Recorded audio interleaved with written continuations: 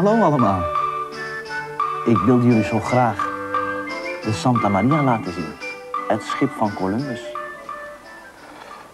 Ja, de mast zit nog een beetje los. Maar ja, het is maar een model. Als toen, in het echt, de mast omlaag kwam in een storm of zo, dan was het veel erger. Dan moesten ze maar een beetje ronddobberen en wachten tot het weer beter werd. Moet je eens kijken hoe klein het scheepje was. In 1500 maakten ze ze zo. In het echt was de Santa Maria 23,5 meter lang. Tegenwoordig vinden we dat maar een klein schip.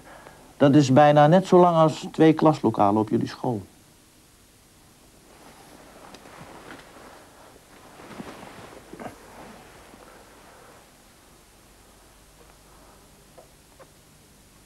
En dit is een modern schip. Zoals dat nu op de zee vaart. Je ziet wel dat hiermee vergeleken het schip van Columbus maar een notendop was. En toch gingen ze hiermee de oceaan over. Op dit schip heeft Columbus dus gevaren. Je hebt toch wel eens van hem gehoord? Dat is een beroemde man in de geschiedenis. 1492, Christoffel Columbus ontdekt Amerika. Ja, dat staat in elk geschiedenisboekje. Maar er valt nog heel wat meer over te vertellen, hoor. Er zijn stapels boeken over hem geschreven. Over Columbus en over de reizen die hij maakte. Nee, die heb ik niet allemaal gelezen. En hier heb ik kaarten die er ook bij horen en scheepsinstrumenten om te navigeren. Uh, dat is om te weten hoe je moet varen. Het zijn allemaal dingen die met Columbus te maken hebben. Dit kompas bijvoorbeeld. Daarmee kon de kapitein of de stuurman vroeger, maar nu ook nog, zien welke kant hij opvaart. Naar het zuiden of naar het westen. De aarde is rond. Dat weet iedereen. Maar in de tijd van Columbus was nog niet iedereen het daarover eens. De meeste mensen die dachten dat de aarde plat was. Ja, platte schijven, pannenkoek. Veel zeelui die dachten dat als je steeds verder over de zee voer... dat je op een bepaald moment van de aarde af zou vallen. Maar Columbus geloofde dat niet. Columbus geloofde de geleerden. En die zeiden dat de aarde rond was. Die opvatting bood nieuwe mogelijkheden. Want als je vanuit Europa naar het oosten wilde, naar India of China... dan kon je natuurlijk over land gaan. En dat gebeurde ook al honderden jaren. Maar, bedacht Columbus, als de aarde rond is... dan moet je er ook over zee kunnen komen als je naar het westen vaart. Maar niemand wist zeker dat dat kon. Omdat nog nooit iemand het gedaan had. Maar Columbus wilde het gaan proberen. Want in China was goud te halen en in Indië specerijen. En daar hadden ze in West-Europa grote belangstelling voor. En daarom schreef Columbus brieven met het verzoek of ze zijn expeditie wilden betalen. Aan de koning van Portugal bijvoorbeeld. Maar toen die geen belangstelling toonde, aan de koning van Frankrijk, de koning van Engeland. Maar die wilde zo'n dure onderneming alleen betalen als het hen ook wat uh, opleverde. Het meest verwachtte hij van de Spaanse koning en koningin, want Columbus woonde in Spanje. Maar koning Ferdinand en koningin Isabella geloofden niet dat het kon en bovendien hadden ze geen geld. Ja, ze hadden wel geld, maar dat hadden ze nodig om oorlog te voeren. Toch bleef Columbus volhouden. En dat weten we bijvoorbeeld uit dit boek. Dat Columbus zelf schreef. Elke dag een stukje over wat hij meemaakte, een soort dagboek. Hier is Columbus zelf aan het woord. Laten we eens horen wat hij te zeggen heeft. Ik weet dat onze heer mij Cristobal Colon heeft uitverkoren als zijn gezant naar de nieuwe wereld. Ik stel mij garant voor de verbreiding van de moederkerk Een goed beheer van deze landen en de winning van edele metalen aldaar... ten bate van het koninkrijk van uw hoogheden en van uw eigen onderdanen.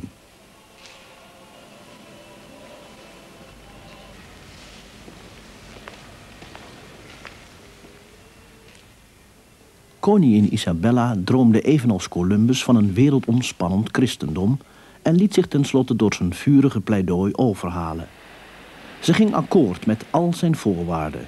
Hij kreeg drie kleine schepen, de Ninja, de Pinta en zijn vlaggenschip de Santa Maria.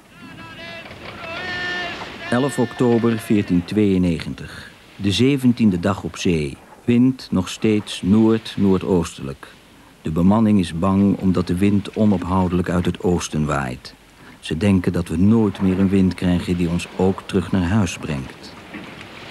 In feite was de bemanning al verder dan ze dacht. Columbus had zijn logboek vervalst om hen gerust te stellen. Maar hij begon zelf ook ongerust te worden, omdat ze nog geen land hadden gevonden. Volgens mijn berekening kunnen we elk moment Katai bereiken... maar de bemanning is bang dat we te ver naar het zuiden zijn gevaren... en Azië helemaal hebben gemist. God geven dat we spoedig land ontdekken.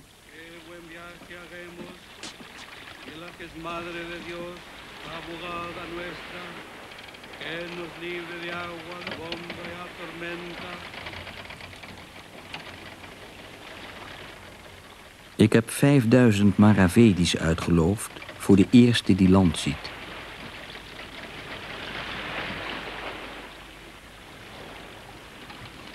We zien vogels rond de mast en overal in het water ligt drijfhout.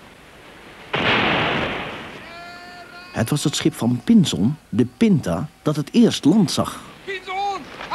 tierra!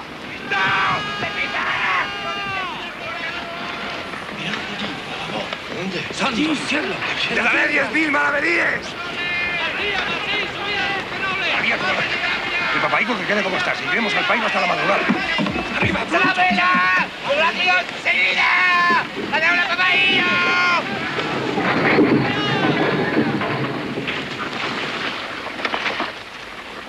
¡Bravo, capitán! ¡Bravo, capitán! ¡Viva el capitán! ¡Viva la bandera de Castilla! ¡Victoria! Katai. Marco Polo zegt dat de daken van hun paleizen bedekt zijn met puur goud. De plafonds zijn van hetzelfde metaal en in veel kamers staan tafels van massief goud. De rijkdom van dat land is onvoorstelbaar.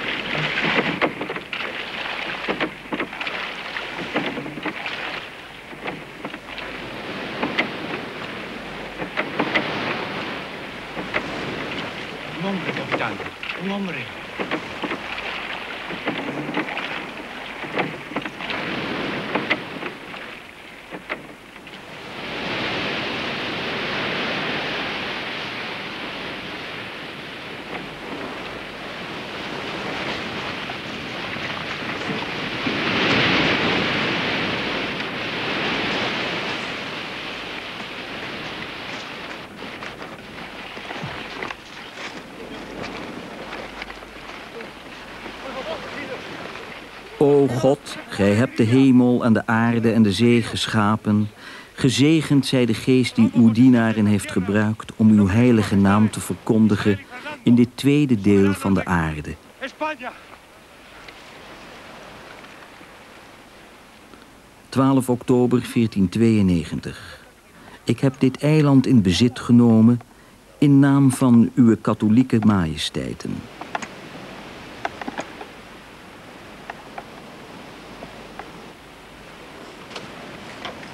De eilandbewoners zijn mensen zoals wij.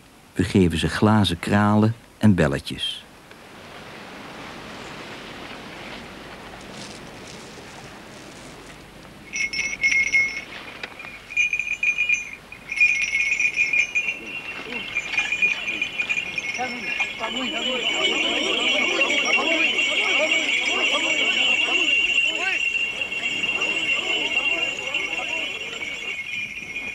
Ze zijn goedaardig en dragen geen wapens. Ze denken dat wij goden zijn die uit de hemel zijn gekomen.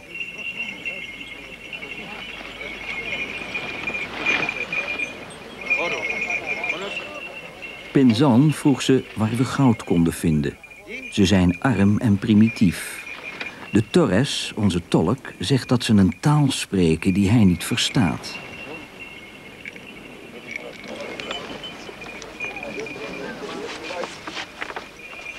Ik heb het eiland San Salvador gedoopt. Uit dankbaarheid voor onze redding. Dat eiland was waarschijnlijk het huidige Samana Cay, een van de Bahama's.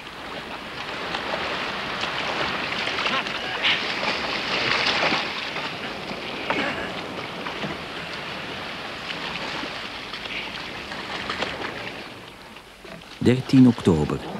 We hebben voor het eerst goud gezien. Een gouden neusring van een zwemmer. Hij vertelde dat er in de landen in het zuiden grote goudmijnen zijn. En de koning van dat land heeft grote schepen boordevol met goud. Columbus geloofde dat hij was geland op een eiland voor de kust van China... en dat hij alleen maar naar het zuidwesten hoefde te varen... om de schatten van het vasteland te vinden.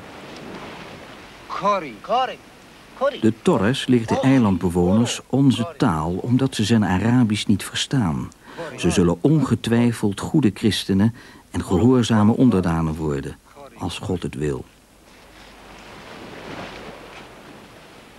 Ze zeggen dat ze worden aangevallen door monsters die mensenvlees eten.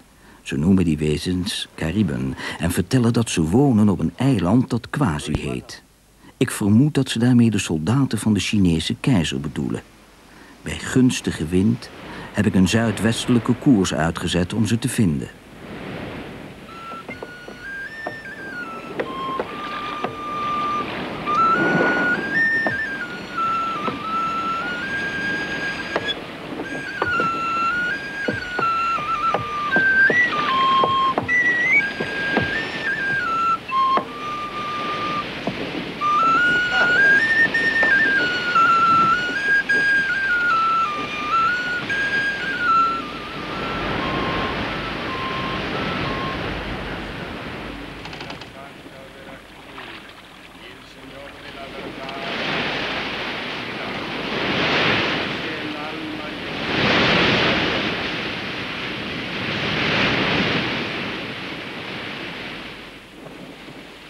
Ik zal geen eiland voorbij gaan zonder het in bezit te nemen in naam van uw hoogheden. 15 oktober. Geland op Santa Maria de la Concepción. In feite koerste Columbus zuidwestelijk tussen de Bahama-eilanden door... in de richting van Cuba. Ik zal het kruis planten in elk land dat we ontdekken. Aangezien iedereen het erover eens is dat de afstand van de zuilen van Hercules tot Azië niet meer dan 3000 mijl is, moeten we nu dicht bij Katai zijn. We hebben echter nog maar weinig goud gevonden. Pinzon wordt met de dag ongeduriger.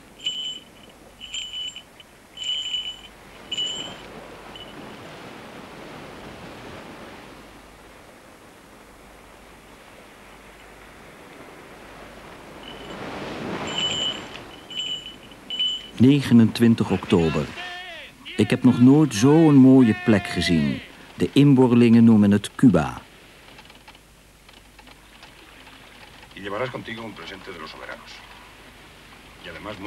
Dit Cuba moet het vasteland van Catay zijn... en de hoofdstad moet in het binnenland liggen.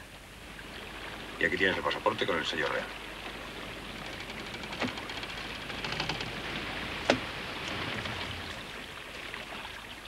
De Torres, onze tolk, zal een officiële missie leiden om de stad te vinden.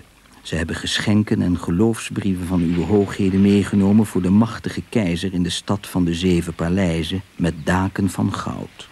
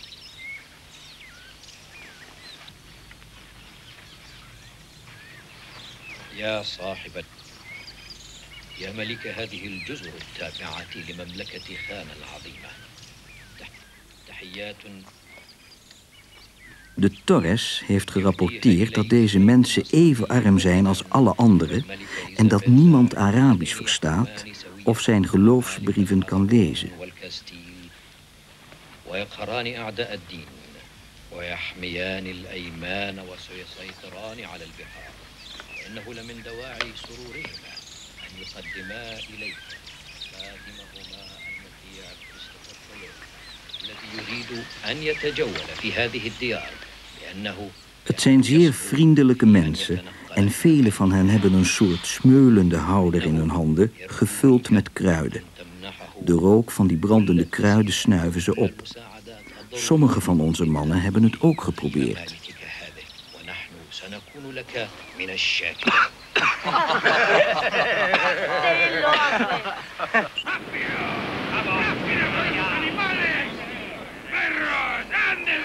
Ik heb een paar mannelijke indianen laten oppakken om mee te nemen naar uw hoogheden, zodat u kunt zien wat voor goede onderdanen u erbij krijgt. Ik zal ook proberen om een aantal vrouwen te vangen om de mannen handelbaar te houden. Sur suroeste. Ik heb een oostelijke koers uitgezet van Cuba naar een land dat Haiti wordt genoemd. Ik neem me voor een kaart te maken van alle zeeën en alle gebieden die ik onderweg ontdek. Zodat de dienaren van uw majesteiten in vrijheid en veiligheid de zeeën naar de specerijeilanden en Katai kunnen bevaren. Tot grotere glorie en welvaart van uw koninkrijken. Ik slaap heel weinig wanneer ik het bevel over het schip voer. Ik moet de koers uitstippelen en onze snelheid schatten. En elk half uur, als de zandloper andersom gaat, houd ik de koers bij aan de hand van mijn pinkompas. De dagelijkse voortgang leg ik vast in mijn logboek, op grond waarvan ik de grote kaart van de tocht zal maken zodra ik terug ben in Spanje.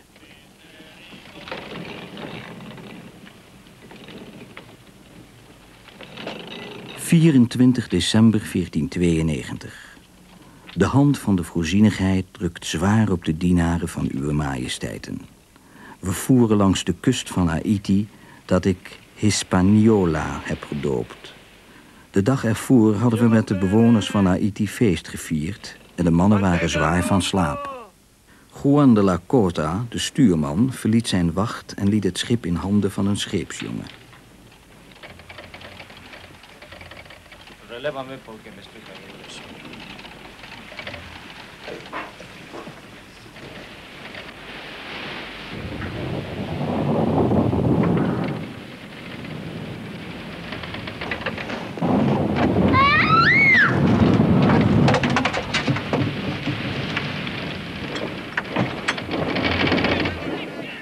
Een paar minuten na middernacht liepen we op een rif. Het gebeurde zo zacht dat aanvankelijk maar weinig bemanningsleden het merkten. Maar er zat een groot gat in de boeg en we begonnen snel water te maken.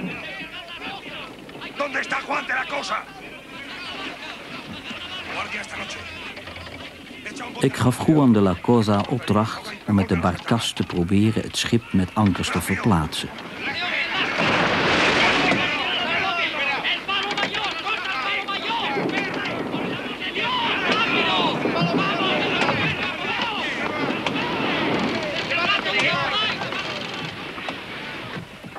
Had hij mij gehoorzaamd, dan zou er nog hoop voor het schip zijn geweest. Maar hij en een aantal van zijn stadgenoten deserteerden naar de Ninja.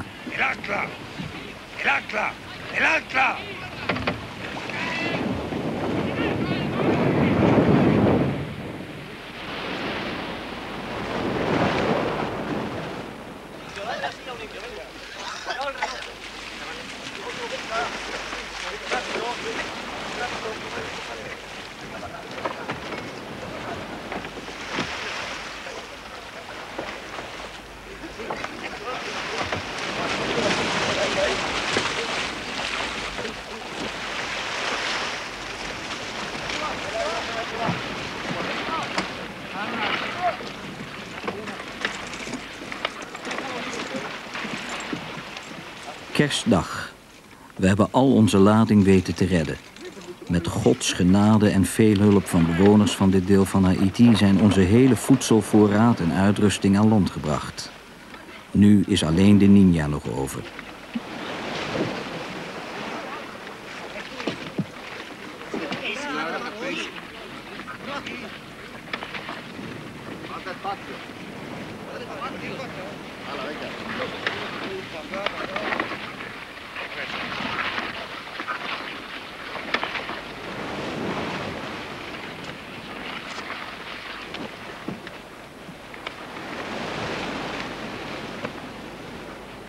Mijn schip de Santa Maria is verloren gegaan.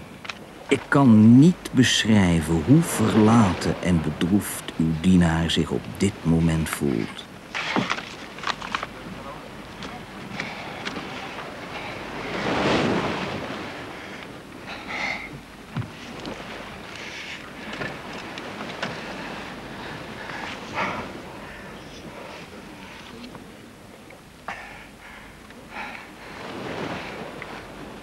Almirante, mire. Mire.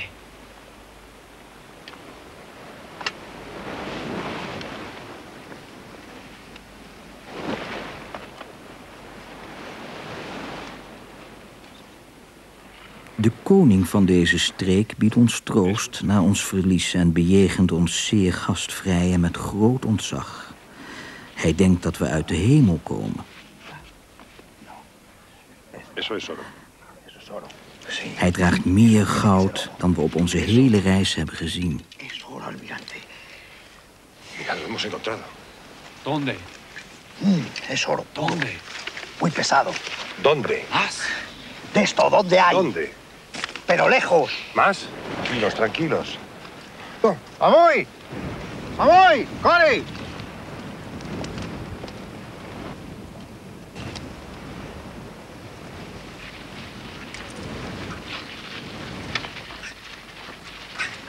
Goud van uitmuntende kwaliteit.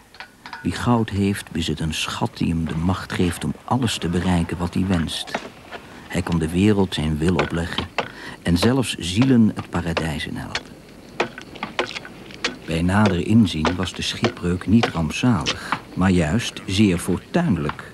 Overal in dit land schijnt goud te zijn. Ik heb opdracht gegeven om een fort te bouwen dat ik Navidad zal noemen. 39 matrozen hebben zich aangeboden om het te bemannen. Ik laat proviand voor een jaar achter, zodat ze op zoek kunnen gaan naar de goudmijnen. De indianen hier zijn hopeloos lafhartig. En deze grote toren zal hem de macht van uw majesteit te tonen... en bereidwilliger maken om zich tot God te wenden. Op 4 maart 1493 gingen we voor anker bij Lissabon. En op 20 april kwam ik in Barcelona... waar hun katholieke majesteiten hof hielden.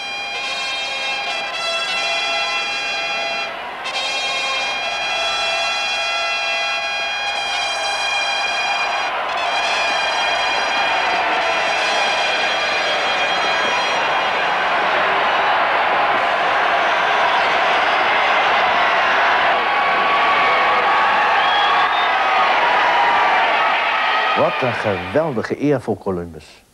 Hij mocht nu ook een tweede tocht maken. Deze keer kreeg hij 1200 zeelui, soldaten en kolonisten mee. Veel meer dan op zijn eerste reis. Columbus was ervan overtuigd dat de eilanden waar hij was geweest vlak voor het vasteland van China lagen. Maar wat Columbus niet wist, is dat hij eigenlijk per ongeluk een nieuw werelddeel had ontdekt dat nog tussen Europa en China in lag. Dat was Amerika. Maar Columbus was vooral geïnteresseerd in China. Of Cathay, zoals ze het toen noemden. Want daar was immers goud te vinden. Volgende keer weet je hoe het verder ging.